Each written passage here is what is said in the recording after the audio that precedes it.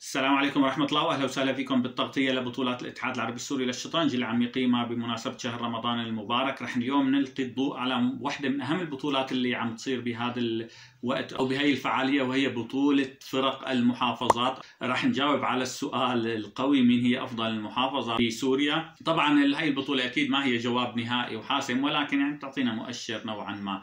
طبعا هاي البطولة كانت قوية جدا بمشاركة 229 لاعب من أفضل وأقوى اللاعبين السوريين. يعني تقريبا معظم اللاعبين الأقوياء بسوريا كانوا موجودين. هالبطولة لعب فيها 1610 مباريات بزمن 3 زائد 2 أو ثلاث دقائق وإضافة ثانيتين لكل نقلة. وبمعدل لاعبين قوي جدا معدل تصنيف اللاعبين كان 1859 طبعا هذا معدل مرتفع جدا بالنسبة ل 229 لاعب. وكان في عندنا نحفة جميلة بهي البطولة إنه معدل فوز اللاعب الأسود كان 48% بينما معدل فوز اللاعب الأبيض كان 47% والتعادل 6% يعني كان فوز اللاعب الأسود أكثر من فوز اللاعب الأبيض. ما بعرف شو يعني ولكن هيك كانت الإحصائيات. بالنسبة للبطولة ونتائج البطولة الفردية كان الأول مازن فندي البطل المعجزة السورية الطفل مازن فندي. طبعا عملنا عنه أكثر من فيديو بهي القناة ممكن ترجعوا لهم فيكم تشوفوا روابطهم بالوصف. فكان المركز الأول برصيد 48 نقطة. أما المركز الثاني فكان من نصيب اللاعب القوي علي زهرة أيضا ب 48 نقطة. بالمركز الثالث كان اللاعب عمراني 11 بتوقع هو اللاعب الكبير المدرب حسن عمراني. هو بعرف أنا عنده حساب غير هذا ولكن بتوقع أيضا هذا الحساب له فإن شاء الله ما أكون غلطان طبعا بتقييمه 2296 نقطة. المركز الرابع حساب اسمه سبايدر ثلاث سبعات للأسف ما عرفت هو لاي لاعب وتقييمه 2281 المركز الخامس من نصيب اللاعب عبد الله قزاز 2234 المركز السادس شادي دادا 2118 من محافظة حلب. والمركز السابع بشار زلمة من محافظة حمص 2258 نقطة تصنيفه.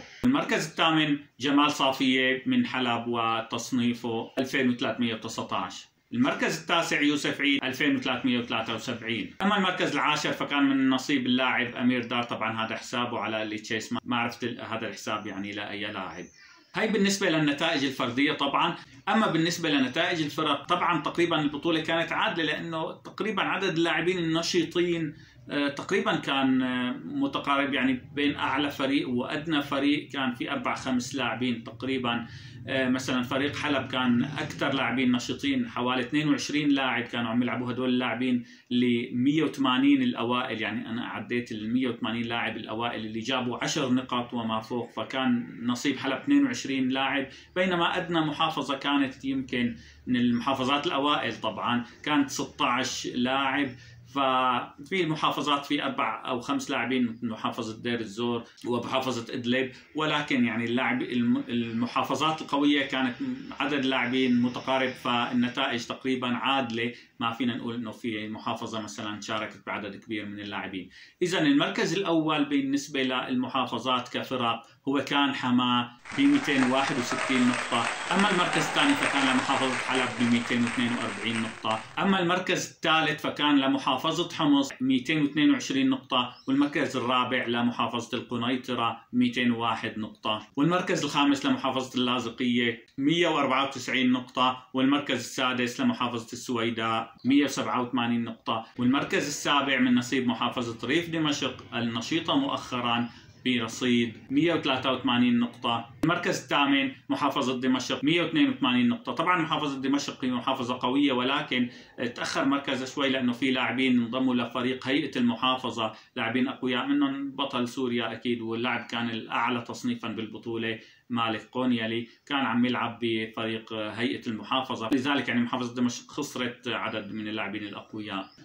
والمركز التاسع لمحافظة طرطوس 174 نقطة. والمركز العاشر لمحافظة درعا 172 نقطة. وأخيرا لازم نشير إلى أن المحافظات الأولى حماة وحلب قامت على سواعد الأبطال تلي أسمائهم بالنسبة لمحافظة حماة المركز الأول كان مازن فندي اللي جاب 48 نقطة والمركز الثاني كان للاعب القوي علي زهرة اللي جاب أيضا 48 نقطة والمركز الثالث كان للاعب سبايدر 777 اللي ما عرفت اسمه طبعا كان ب 46 نقطة والمركز الرابع لكرم زيد 34 نقطة والمركز الخامس للاعب الكبير والمدرب الشهير عزام زينو ب 30 نقطة والمركز السادس لسومر غازي اللي جاب 29 نقطة والمركز السابع للاعب محمد فندي اللي جاب 26 نقطة. أما بالنسبة لفريق حلب فكان المركز الأول من نصيب عبد الله القزاز برصيد 41 نقطة والمركز الثاني شادي دادا 38 نقطة والمركز الثالث جمال صافية 36 نقطة والمركز الرابع يوسف عيد 36 نقطة والمركز الخامس رودي بكر 31 نقطة والمركز السادس كاسبار شوشنيان ب 30 نقطة والمركز السابع